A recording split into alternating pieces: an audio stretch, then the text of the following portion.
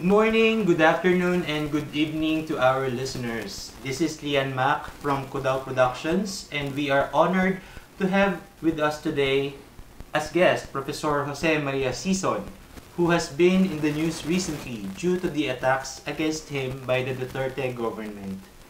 Professor Joma, in the past days, the anti-Joma Sison machine of the government has been churning out all kinds of propaganda against you. Some say it is because Duterte is rattled by the charges of human rights violations, corruption, and incompetence in the handling of the COVID pandemic, and that is why it is trying to model and divert the issues through political zarzuela, fake news, mudslinging, and uh, you are one of his favorite targets. Indeed, the anti-Joma Sison machinery of the Duterte regime is turning out a lot of propaganda in a futile attempt to deflect attention from the growing isolation and condemnation of Duterte for his grave crimes of extrajudicial killings and other human rights violations, corruption, mishandling of the COVID-19 pandemic, and aggravation of the economic crisis. The Duterte propagandists try to muddle and divert issues through various publicity stunts, fake news, and mudslinging. But they make a big mistake by presuming that they make the devil Duterte look like a saint by attacking and misrepresenting me. The problem is that I have always stood for the national and social liberation of the Filipino people, and I fight back whenever there is any kind of serious offense against me and other people. Mm. Um, the latest information is that the Duterte government through the NTF-ELCAC is orchestrating the call for your deportation back to the Philippines and the cancellation of your status as a recognized political refugee. Your supposed crime, you are uh, directing terrorism from the Netherlands. Uh, what do you say about this? Is your extradition to the Philippines possible? And how about the cancellation of your refugee status? It is true that Duterte himself the security cluster of his cabinet, the so-called Anti-Terrorism Council, and the uh, National Task Force, ELCAC, are carrying out a campaign plan to call for my deportation to the Philippines and the cancellation of my status as a recognized political refugee, and hoping in vain that the Dutch government would be persuaded to deport me to the Philippines and violate Article 3 of the European Convention on human rights and the principle of non-refoulement or non-return no, in the Refugee Convention. These prohibit my deportation to the Philippines or even to a third country. General Esperon forgets the fact when he and other rascals in the Arroyo regime instigated false charges of murder against me in 2007, alleging that I had directed this from the Netherlands. The Dutch government denied the request for my extradition and asserted the principle that the Dutch judicial system has the jurisdiction over such charges. Thus, I was investigated, prosecuted, and proven innocent before the Dutch courts up to the level of the appellate court in The Hague. These gangsters in power in the Philippines think that they can twist the law against their critics, even in the Netherlands. Everyone should recall that in 2009, I won my case before the European Court of Justice for the removal of my name from the EU terrorist list. It was proven before the court that since my arrest and imprisonment in 1977, I have not been in any position to participate in any decision making, administration, and operational leadership in the CPP and NPA. The current false charges of terrorism against me by the Duterte regime are all baseless and are obviously concocted for vile political purposes. There is no way that the Duterte regime can compel or persuade the Dutch government to extradite me to the Philippines or cancel my status as a recognized political refugee without violating the absolute protection of Article 3 of the European Convention on Human Rights and the principle of non-refoulement in the Refugee Convention. It is not only this reason that the Duterte regime is making threats against my lawful stay in the Netherlands. It has been doing so in vain for several years already. Yeah, and they also say that the Netherlands should deport you because the European Union considers you as a terrorist. Uh, what, what do you say about this? I have already mentioned the well-known fact that I won my case for the removal of my name from the EU terrorist list in 2009. But the psywar agents of the Duterte regime keep on misleading the ill-informed with uh, fake information. They also wish to spread abroad the plague of red tagging promoted by Duterte's Anti-Terror Act, which is actually a vicious instrument of state terrorism. The red tagging or communist baiting is a device for preparing the murder of anyone by the Duterte death squads. Um, Professor Joma, uh, let's now go to the question of peace negotiations between the NDFP and the GRP. Uh, with election fever on, Duterte's statements seem to indicate that he is thinking of running as vice president in the next election. What if Duterte puts the peace negotiations back on the table? Will the NDFP go back to the negotiating table? He might do it to reinvent himself or gain what we call pogi points to bolster his candidacy. It is possible, but not certain, that the Duterte regime will approach the NDFP for peace negotiations, if only to try uh, splitting the growing broad popular opposition to his brutal and corrupt regime. But there is no more time for him to make any kind of pretense that he can do better than all the crimes and offenses that he has committed against justice and peace in five years. I do not think that he can reinvent himself from all the crimes of treason, tyranny, mass murder, plunder, and swindling that he has committed. He has deliberately sought to kill the peace negotiations with Proclamation 360, terminating them, Proclamation 374, designating the CPP and NPA as terrorist organizations, Executive Order 70, creating the National Task Force ELCAC of 2018 and the Anti-Terror Act of 2020.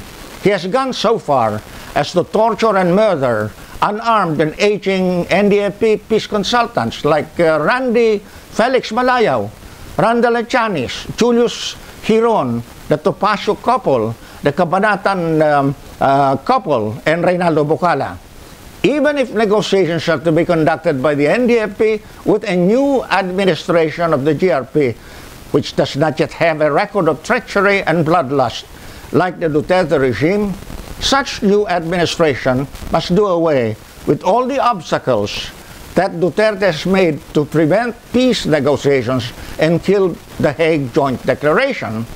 And the Norwegian government, as third-party facilitator, must help to ensure that NDFP negotiators, consultants, and staff have the option to seek refuge abroad by way of the safety and immunity guarantees. Uh, yeah, to many, the GRP sounds like a broken record when it comes to localized peace talks. Why do you think the government never gets tired of bringing up the localized peace talks or negotiations when time and again the revolutionary forces in the Philippines have refused this? Is it about the money or the budget to be allotted for this?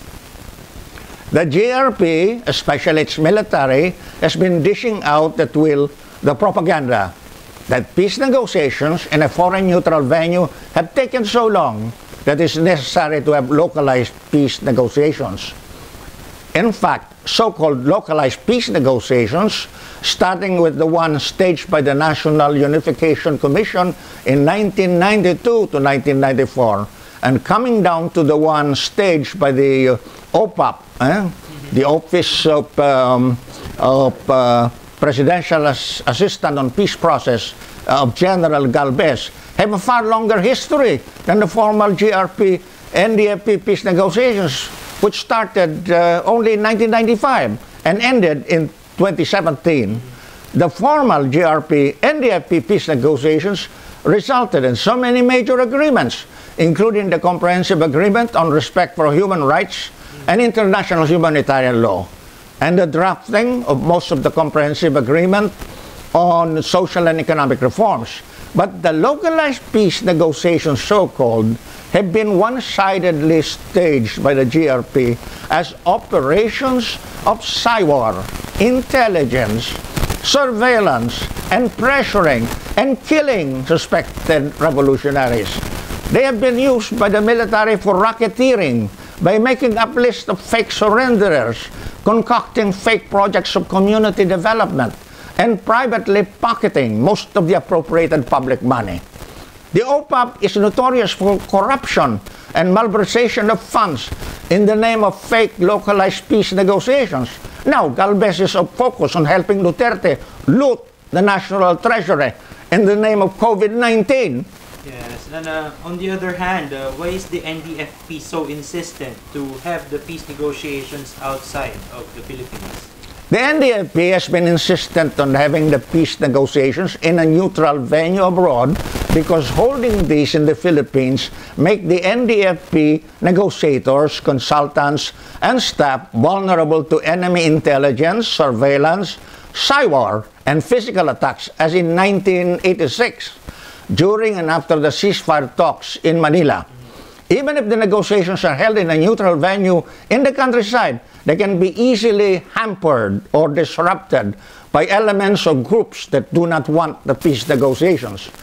As I have earlier pointed out, even peace negotiations in a foreign neutral venue can be too risky and costly to the NDFP. When the GRP regime is as treacherous and vicious as the Duterte regime, NDFP's consultants, resource persons, and staffers who return to the Philippines can be abducted and murdered. Thus, there is the need to reinforce the guarantees for their immunity and safety. They should be given the option to seek refuge abroad in case of any threat against them. Mm. Uh, but Ka Joma, let's uh, go now to the case against the Duterte administration before the um, International Criminal Court.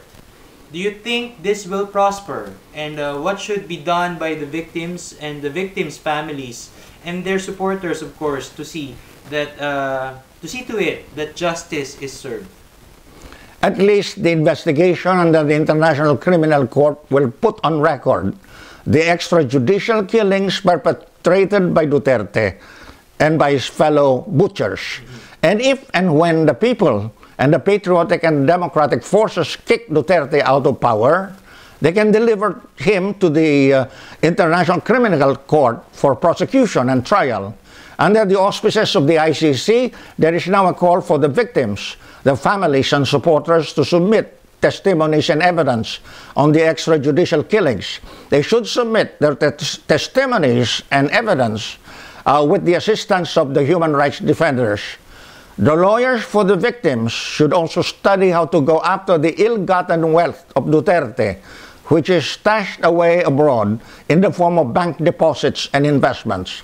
If the ICC fails to have Duterte arrested, it is possible for the People's Court of the People's Revolutionary Government to have him arrested for trial. The people are openly clamoring for the People's Revolutionary Government and the People's Court system to go after the mass murderers, plunderers, and masterminds of criminal syndicates. Mm, uh, let me go back to the question on elections. What do you think are the chances of a Duterte Duterte slate for president and vice president? And if this slate wins, will it not prevent the ICC or the International Criminal Court from trying Rodrigo Duterte? In clean and honest elections, the Duterte state is a sure loser because the Duterte regime is totally discredited by its crimes of treason, mass murder, plunder, and gross negligence in the handling of the COVID-19 pandemic. The people are hit hard in the stomach by hunger as a result of the inflation of the prices of basic commodities. They hold Duterte responsible for the aggravation of the economic crisis. But Duterte has gained control over the military and police by corrupting them and making them criminal accomplices. He is also terrorizing the public school teachers under the Anti-Terror Act. Most important of all, five of the six commissioners of the COMELEC are Duterte appointees, and the Duterte dummy Dennis Uy mm-hmm. owns the TIM Corporation, which is the Philippine partner of Smartmatic. Mm-hmm. In brief, Duterte can manipulate the vote count as he did in the 2019 midterm elections. All the propaganda about Duterte having a high popularity rating by mercenary opinion survey firms, troll armies, the safe playing corporate media, paid pundits, and so on, is meant to make acceptable in advance the electoral fraud that Duterte is set to do. But he, like Marcos in 1986, can be ousted from power precisely because of cheating. If there would be a combination of mass uprising and withdrawal of military support from Duterte, if done, then the armed revolutionary movement of the people will have extremely favorable conditions for advancing more rapidly than before. Mm -hmm. I have some information from relatives and friends in the reactionary armed forces and police that there are at least two anti-Duterte groups of officers who are determined to take action against Duterte if he rules beyond 2022 under any pretext. They detest and reject the crimes of treason, mass murder, and plunder that Duterte and his favorite generals have committed. Um, uh, this would be my final question, Professor. Uh, what are the chances, do you think, of the opposition? And how come the, uh, the One Sambayan is not taking flight? As I have already said, the opposition is sure of winning in clean and honest elections, but it must agree on a presidential candidate who is credibly a sure winner, who hits hard the Duterte criminal record, and who will then have the moral ascendancy to call for the ouster of the Dutertes for cheating in the 2022 elections. If the electoral opposition fails to remove Duterte from power, the, the broad masses of the people will have no recourse but to intensify their armed revolutionary struggle for national liberation and democracy. The people's hatred for Duterte and the rapidly worsening economic and political crisis of the semi-colonial and semi-feudal ruling system are exceedingly favorable for the new democratic revolution through People's War. Thank you very much, Ka Joma, for giving this interview with us here at uh, Productions and uh, for sharing with us your views. As always, you are ready to take on your detractors. Would you like to say a few words to our viewers and listeners before we go? Uh, thank you, Kalayan, for interviewing me. I thank all of our listeners for being with us. I hope that this interview can serve to enlighten our Filipino compatriots and foreign friends and guide them to fight all the anti-national and anti-democratic attempts of the Duterte ruling clique mm -hmm. to perpetuate itself in power through state terrorism and electoral fraud and to escalate the conditions of exploitation and oppression for the benefit of imperialist powers and the local exploiting classes of big compradors, landlords, and bureaucrat capitalists. Down with the treasonous, tyrannical, murderous, and plundering Duterte regime. Advance all forms of mass struggle for national liberation and democracy Long live the Filipino people and the international solidarity of all peoples.